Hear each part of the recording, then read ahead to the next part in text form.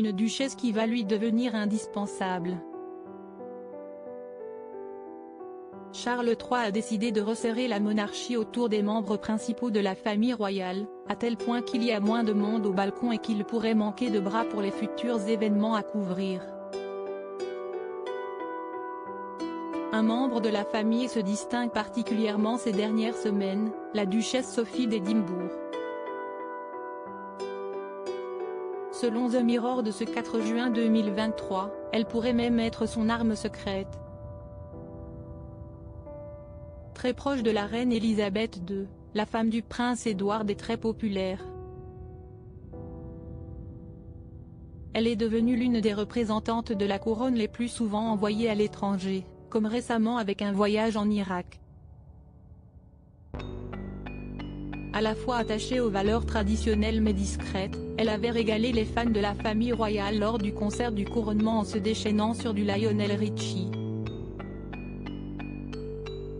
Charles III pourrait bien compter beaucoup plus sur elle pour l'épauler dans les prochaines semaines.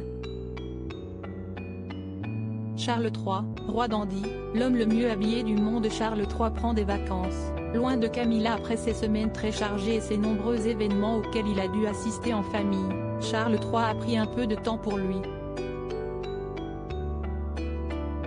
Pour le roi, c'est une première en dehors du Royaume-Uni depuis son couronnement le 6 mai dernier.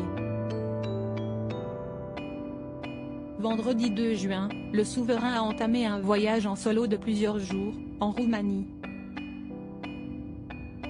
Un séjour, dont la durée n'a pas été précisée par Buckingham Palace, que le monarque effectue donc sans son épouse, la reine Camilla.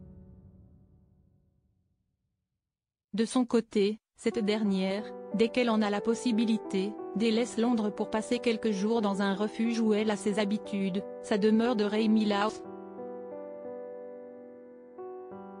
Un couple moderne qui se laisse le temps de souffler pour mieux se retrouver. Crédit Photo, Agence